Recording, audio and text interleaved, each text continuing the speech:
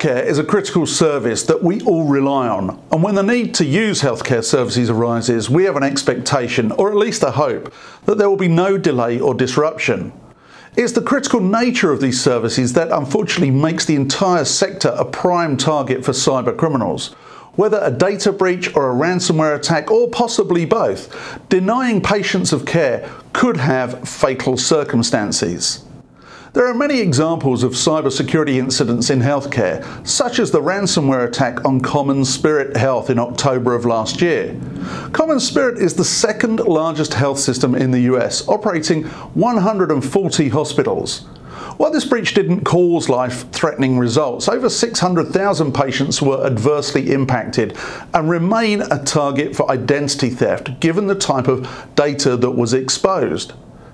In December of 2022, CentraState Medical Centre in Freehold ceased admitting patients due to a ransomware attack and data breach involving 617,000 patient records.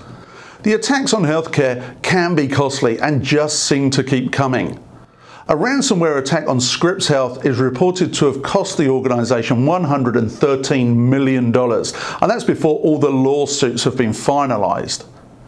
A study led by the University of Minnesota Public Health Team looked at incidents over a six year period from 2016 through to 2021. They found that ransomware attacks doubled and nearly 45% of attacks disrupted the delivery of healthcare services, with just under 9% leading to a disruption of more than two weeks.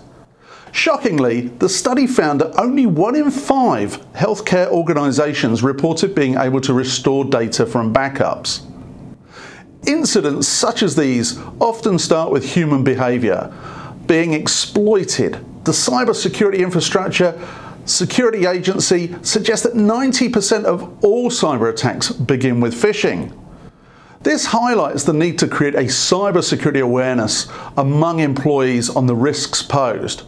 I recommend adopting a policy requiring cybersecurity awareness training more frequently than the once a year cyber risk and liability insurance policies require it.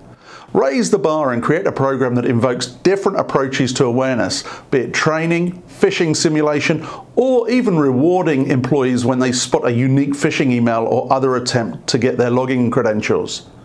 If you're interested in talking about cybersecurity awareness training, I recommend reaching out to one of my ESET colleagues or visit eset.com to learn more.